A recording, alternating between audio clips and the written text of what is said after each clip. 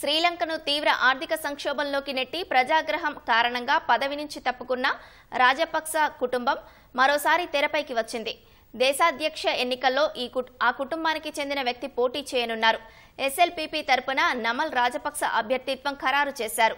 ఈ విషయాన్ని ఆ పార్టీ ప్రధాన కార్యదర్శి సాగర కరియస్వసాం తెలిపారు. తొలుత ఎస్ఎల్పీపీ నుంచి వ్యాపారవేత్త దమ్మిక పెరేరాను బరిలో దించాలని భావించారు. కానీ వ్యక్తిగత కారణాలతో ఆయన పోటీకి విముఖత వ్యక్తం చేయడంతో మహీంద్ర రాజపక్స కుమారుడు నమల్ పేరు ప్రకటించారు.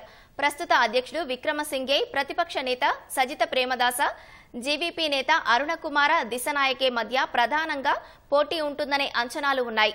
రాజపక్స కుటుంబమే రెండు వేల ఇరవై రెండు జూలైలో విక్రమసింఘేకు అధికారం దక్కేలా సహకరించింది.